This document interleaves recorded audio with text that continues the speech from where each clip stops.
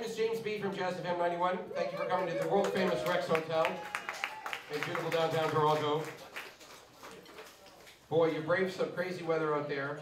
I'm sure we're all just a little damp, but things are going to get hot. Please welcome Gia and the Unpredictable Update.